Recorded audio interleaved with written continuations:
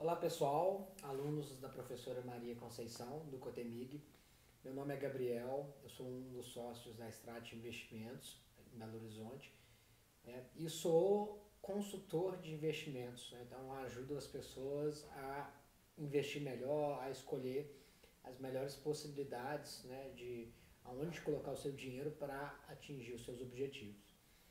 Eu vim falar rapidamente sobre um passo a passo para você que está querendo né, começar a, a investir. E, e, qual que é, né? O que, que, o que, que deve ser feito? Ah, primeiro, é extremamente importante né, que você poupe. Ah, se você não poupar, se não tiver disciplina, você não vai chegar a lugar nenhum. Às vezes você fica encantado com uma rentabilidade muito alta, mas ali tem um risco às vezes tão grande, né? E, e que às vezes não compensa. Né? Então, assim, a, a, nossa vida e até a aposentadoria, né? Ou até a independência financeira, que é aquele momento né, que a gente fala, o que é independência financeira? Você tem um patrimônio que você consiga viver da, da rentabilidade dele, não precisa mais de trabalhar. O nosso caminho até lá, ele não é uma corrida de 100 metros, né? Ele é uma corrida gigantesca, uma volta de São Silvestre ou aqui em Belo Horizonte da Lagoa da Pampulha, né? Uma corrida gigantesca. Então você tem que ir com calma. Às vezes você vai querer ali correr riscos enormes para uma rentabilidade exorbitante e pode colocar todo o seu plano por água abaixo. A disciplina é mais importante até mesmo do que rentabilidade. É, você, você guardar todo mês, desde o seu primeiro salário, ou desde a sua primeira mesada, que for dinheiro na poupança, que é um péssimo investimento, provavelmente se você tiver essa disciplina, você vai ter um patrimônio legal lá na aposentadoria, mesmo sendo na poupança. Agora, se você pegar ali é um dinheiro é, que às vezes até parece grande, né, pra gente que está ali no ensino médio, vamos pegar, sei lá, 5 mil reais, 10 mil reais, 15 mil reais que for, e você colocar isso é, no melhor investimento possível, você não vai aposentar só com isso, a disciplina que vai te levar lá. Melhor você poupar todo mês pouquinho do que você contar com um dinheiro desse para chegar lá na frente e se aposentar. Então a disciplina é importante, é, sabendo que é importante poupar, né? A gente sempre fala para trabalhar com metas, então pensa em qual que é o valor, né? Pensa, ah, cria uma meta, olha, dentro do que eu ganho, vou poupar tanto. Né? E, e assim que você receber, todo mês, você já vai lá e investe aquele dinheiro, senão você sempre vai se boicotar, sempre vai gastar o resto. É bom anotar os gastos, anotar a renda, as receitas. É, isso aí você também consegue fazer através de planilha, aplicativo. Tem um aplicativo, aplicativo que eu gosto muito, que é o Mobius, que é M de mãe, O, B de bola, I, L, L, S, tá? que dá para controlar tudo isso. Você conseguindo guardar, é extremamente importante que você forme é, uma reserva ah, de emergências. Né? Então, se amanhã você, sei lá, precisar de dinheiro por algum motivo, né? Deu, teve algum imprevisto ou algum problema, né? O celular foi roubado, o iPhone. Você tem um lugar da onde você consegue tirar dinheiro, né? Rápido. É, e aí esse lugar, e aí um erro, por exemplo, que eu às vezes cometia muito quando eu era jovem, eu era totalmente desorganizado, era ficar usando um cheque especial do, do, do, lá do banco e tudo isso, né? Que você paga juros. Então, o certo é o quê? É você ter a sua reserva de emergências. Que normalmente é um investimento de baixo risco de alta liquidez. Baixo risco significa que você resgata que, que ele tem baixo risco. Né? Porque imagina se esse investimento tiver numa ação. A ação muda, oscila muito. Né? Você pode precisar do dinheiro amanhã e ter um prejuízo na hora que você resgatar, porque a ação que valia 30 agora vale 15. Não tendo muito risco, você sai desse risco também de perder o dinheiro ali de um dinheiro que você pode precisar a qualquer momento. É, e além de baixo risco, alta liquidez, que a gente chama de resgate rápido. Não adianta ser uma aplicação de um ano se eu preciso do dinheiro na hora, diante de uma emergência. Mais comum é o Tesouro Selic, tá? que é um investimento, é um dos investimentos dentro do Tesouro Direto. O Tesouro Direto engloba vários investimentos que você está emprestando ali dinheiro para o governo. É, o Tesouro Selic é um. Na verdade, você encontra isso em qualquer banco, corretora. Então, no seu banco mesmo, às vezes você encontra lá essa aplicação, esse investimento, o Tesouro Selic. Você vai colocar o dinheiro lá, resgata a qualquer momento, você recebe o dinheiro volta para você em um dia, se você pedir o resgate, é, e, e, tem baixo risco. Tá? E a rentabilidade também é um pouco menor, porque o risco é baixo, mas é melhor que a rentabilidade de uma poupança. Né? Então, Enquanto o Tesouro Selic rende o mesmo tanto que a taxa Selic, que hoje é 2% ao ano mais ou menos, a poupança rende 70% desses dois, né? Vai dar aí 1,4 por aí. Até não paga imposto na poupança e paga no tesouro, mas mesmo assim o tesouro é, é, mais, é mais interessante. Bom, é, feito isso, né, a gente sempre acha bom, uh, mas aí é, vai mais a partir do momento ali do, que você tiver o seu primeiro salário, que você vai ter começar a ter dependentes, pessoas que dependam financeiramente de você. É, você pode estar recebendo um bom salário e amanhã se deparar com uma doença, uma invalidez. Então a gente sempre recomenda ter uma estratégia mais para frente, acho que não seria agora para quem está no ensino médio, é, então não vou prolongar muito nesse assunto, que seria em termos de seguro, né? Mas o seguro basicamente você contrata ali com, por um valor X, né? Eu pago, sei lá, 100 reais por mês e se eu tiver uma doença, né, em vez de eu passar um aperto ali, não ter nem dinheiro para pagar os custos, você recebe um valor X. E mas depois, subir, seguindo um pouco, vem os investimentos. E o que, que a gente recomenda nos investimentos? Recomenda que você sempre pense primeiro qual que é o seu objetivo. Né? Então, se o seu objetivo é mais de longo prazo, exemplo, 10 anos para mais, você pode ter mais risco. Se o seu objetivo é muito de curto prazo, igual a reserva de emergências, que é algo que você pode resgatar a qualquer momento, né, ou o seu objetivo, sei lá, é viajar daqui a um ano, ou em menos tempo, você vai ter que ter menos risco. Porque não dá tempo de, se você perder dinheiro, de recuperar. Né? Você tem que pensar muito também se você está disposto a correr risco ou não, que às vezes você até tem prazos longos, mas você vai ficar sofrendo se o dinheiro cair. Você tem que entender. Eu recomendo hoje muito que o brasileiro entenda o risco que ele consiga investir com um pouco de risco, porque antigamente os investimentos conservadores rendiam bem no Brasil, hoje rendem menos com a nossa nova realidade aí é, atual. É, então sempre pensar nesse prazo.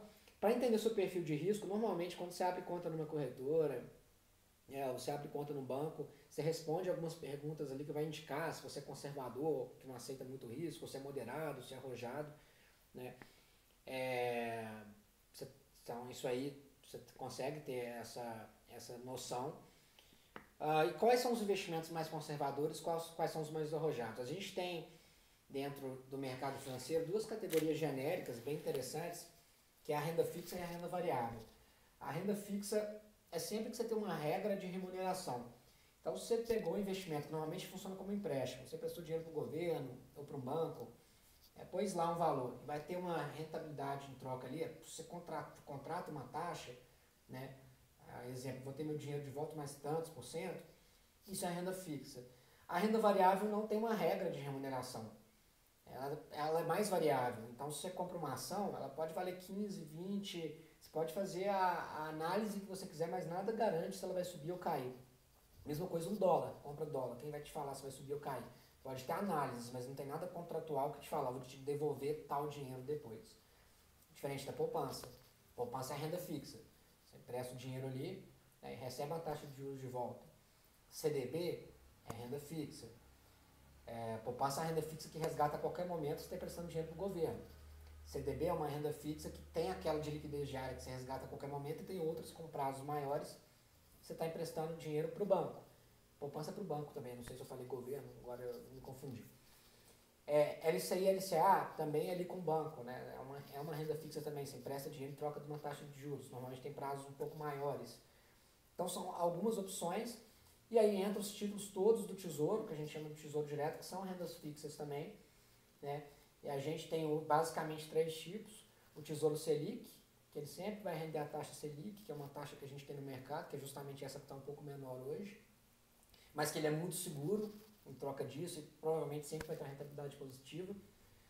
O Tesouro IPCA+, que você contrata uma taxa de rendimento a, acima da inflação, então pega o IPCA mais 3, significa que todo ano ele vai render a inflação daquele período mais 3% acima da inflação. E para quem não sabe, a inflação é o que? É o aumento do preço das coisas, né? Então se algo custava 100, agora custa 110, é porque teve uma inflação de 10%. Esse investimento ele te garante um ganho acima da inflação.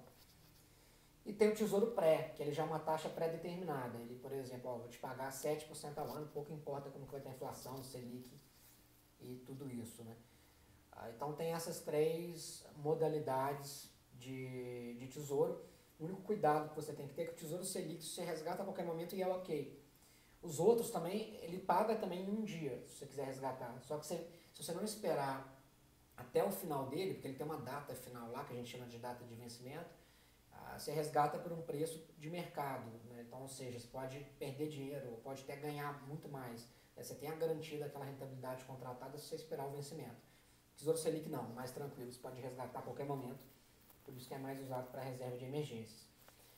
Uh, para o longo para a renda variável, é, aí é mais ações, fundos imobiliários, é, você tem dólar, que são investimentos que vão ser mais arriscados. Então, basicamente, são essas duas opções. Lógico, tem infinitas outras coisas, né? Eu estou falando aqui de uma forma é, bastante, bastante resumida para vocês. Uh, normalmente, o que, é que casa com cada objetivo? Então, a aposentadoria, a gente costuma usar muito ações, costuma usar muito é, previdência privada. Previdência privada, eu não entrei no detalhe, mas a previdência, na verdade, quando você contrata uma previdência privada num banco, é, ela é um conjunto de de investimentos. Então ali dentro, na verdade, tem várias pessoas colocando dinheiro, aquele dinheiro em conjunto é investido. Pode ser estratégias diferentes. Tem previdência privada que investe mais em ações, tem outras que é renda fixa, tem mais arriscada e menos arriscada. Mas normalmente funciona bem para o longo prazo qualquer previdência, porque o imposto de renda que você paga sobre a aplicação costuma ser muito baixo no longo prazo, no curto prazo é muito alto. Uh, funciona para o Tesouro IPCA+, que normalmente é o título do tesouro que eu falei, né, que você compra inflação mais uma taxa. Ah, mas você tem essa, essa taxa contratada só você esperar o vencimento, como eu disse. Né? Ele realmente é muito bom, ele realmente, normalmente é bom para aposentadoria, porque ele protege o seu dinheiro da inflação. É, e os prazos dele são longos, são de acordo com o normal. Você tem que tentar casar, né, encaixar o prazo da sua aposentadoria com o prazo do título, você não ter que resgatar antes e às vezes perder dinheiro, como eu expliquei. Ah, pensando em objetivos, sei lá, de viagens, normalmente a gente vai falar de um CDB de liquidez diária, ou de um CDB, uma LCI, uma LCA que tem um prazo mais curto que o da sua viagem, para você ter o dinheiro lá na hora da viagem. A própria Nuconta do Nubank, que é uma renda fixa também, né? É, então são algumas, é, algumas opções. E para outros objetivos, ali até um ano, acho que você pode pensar algo nesse sentido. Se tiver mais no meio do caminho, dois, três, quatro, cinco anos, Acho que você pode às vezes posicionar, ter alguma coisa de renda fixa e tem uma categoria bastante interessante para quem quer começar a entender um pouco mais de risco, né, mas que não é tão arriscado, que são os fundos multimercados. Os fundos de investimento, eles funcionam como previdências também. Tem todo banco, toda corretora. Quando você chega lá, né, você colocou dinheiro lá, tem várias pessoas colocando, tem uma estratégia ali, um regulamento que o gestor, que é uma pessoa que fica ali dentro do fundo, tem que, tem que seguir. É, e os fundos multimercados eles, eles investem em diversas coisas, diversos investimentos. Ele tem desde ações a renda fixa. Então, normalmente ele tem uma estratégia mais moderada, que é uma forma de você começar né, a sentir um pouco mais o sentir um pouco mais o risco ali. Então é, é uma opção também. Ah, se você vai fazer um intercâmbio, né, muita gente ali do ensino médio gosta disso, ah, tem os fundos cambiais, que são aplicações que você encontra também na própria corretora que ela protege o seu dinheiro do dólar. Né? Então, se você tem medo amanhã que o dólar vá subir muito e você não consiga comprar, pega o seu dinheiro hoje ir no fundo cambial, ele fica sendo protegido da, das oscilações do dólar. Então, é, é uma opção também. Por fim, para você fazer e ter mais opções de investimentos, é bom que você tenha conta numa corretora. A corretora é como se fosse um supermercado. Ela é uma, é, não paga nada normalmente, na verdade você paga, mas está embutido nos investimentos ali, a, o que você paga, você não, não, sai da sua conta, né? mais ou menos sai do seu dinheiro que está lá rendendo, vamos dizer que é mais ou menos assim. É, mas a, a corretora, né, então você abre a conta e ali você tem várias opções de investimentos, então, tem vários bancos ali, em vez de você ter que ter conta em tantos lugares, tem conta num lugar só que você consegue comparar algumas coisas, então é algo interessante. É importante você entender que quando você escolheu, a partir do momento que você escolheu o investimento na corretora, seu risco não é mais a corretora quebrar, seu dinheiro está no investimento que você escolheu, a corretora é só um intermediário, então o que importa é o investimento que você escolhe lá dentro. Claro, né, se você não fizer uma pesquisa boa, às vezes você vai transferir dinheiro achando que é a corretora e alguém roubando seu dinheiro. Mas sou corretora mesmo, ela é fiscalizada pela CVM, que é quem fiscaliza esse mercado, e então tem uma certa segurança.